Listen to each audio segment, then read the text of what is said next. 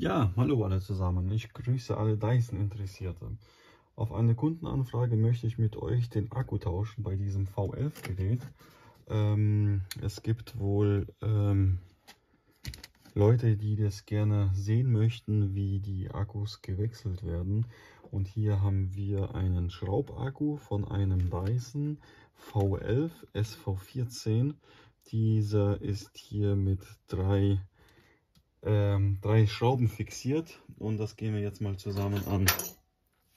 Ich äh, packe erstmal gleich den Originalen aus, dann können wir auch sehen, was im Lieferumfang sich befindet.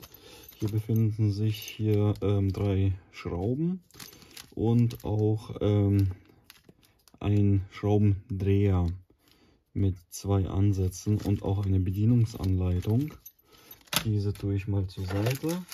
Dann hier die äh, Feuchtigkeitsschoner. Dyson Hotline und der Akku selbst.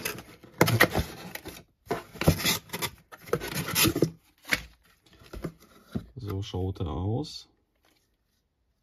Ist auch ein für zu Zusammenschrauben.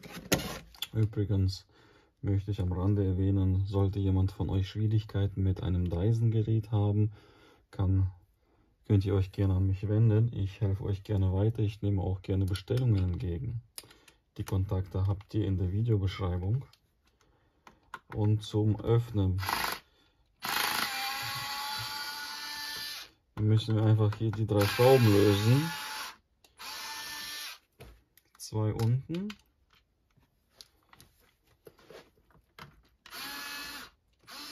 und eine seitlich. Diese können wir auch wieder verwenden, wenn diese nicht rund gedreht sind und nie geöffnet worden waren. In diesem Fall ist es. Und dem Kunden kann ich diese, die im Lieferumfang enthalten waren, ähm, einfach zum Ersatz mitgeben. So, dann holen wir den Akku einfach ab. Einfach rausholen. Das kriegt der Kunde zurück und den neuen einsetzen. Zack. Dann verschrauben wir den ordentlich.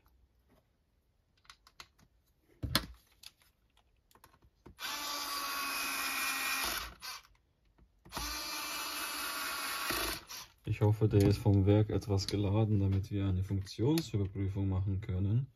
Ansonsten muss ich es nochmal an die Ladebuchse stecken. So, verschraubt haben wir den und genug Strom, genug Saft, Energie, um eine Funktionsüberprüfung zu machen. Somit ist auch das erledigt. Der Kunde gab an, dass der Akku schon ziemlich alt sei und nur 8 bis 10 Minuten halten würde. Ich gucke mal, ob hier ein Produktionsjahr erkennbar ist. Hm. Nee, sehe ich nicht. Ich bin mit der Arbeit durch. Ich hoffe, dieses Video war informativ für ähm, den einen oder anderen. Vielleicht als ein Hilfevideo, Hilfestellung. Ich bin mit der Arbeit durch. Gerne könnt ihr euch bei Fragen an mich wenden. Meine Daten habt ihr in der Videobeschreibung. Ich wünsche allen alles Gute. Bis demnächst. Tschüss, tschüss.